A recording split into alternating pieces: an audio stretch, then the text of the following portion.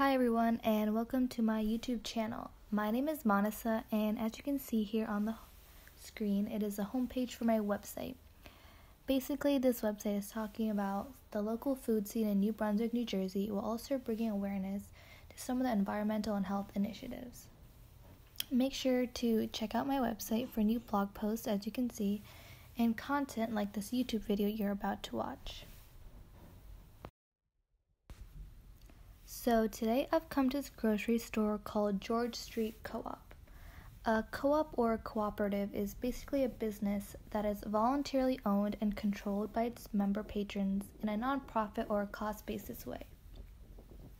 George Street Co-op is a nonprofit natural food store that is also owned and run by its members who started the cooperative.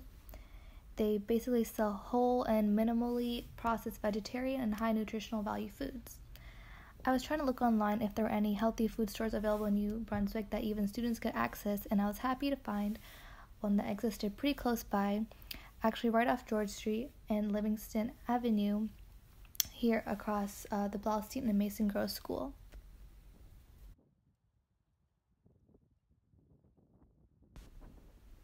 So here I am walking up to the store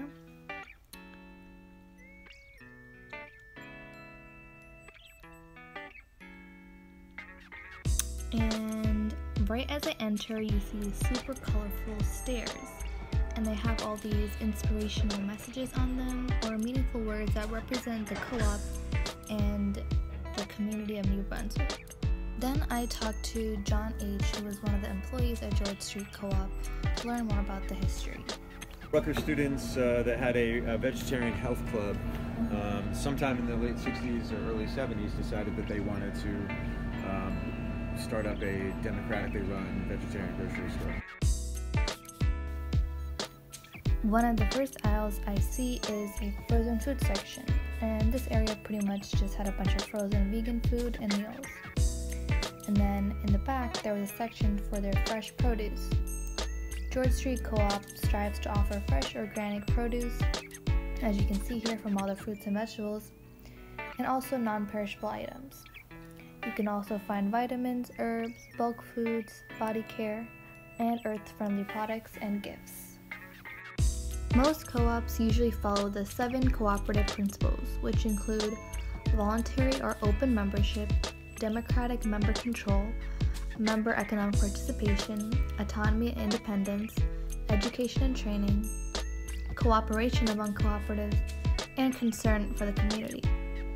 I think this was really important and great because it's good to know the integrity behind what is being sold to you and the intentions among the community members' efforts to create this system in New Brunswick.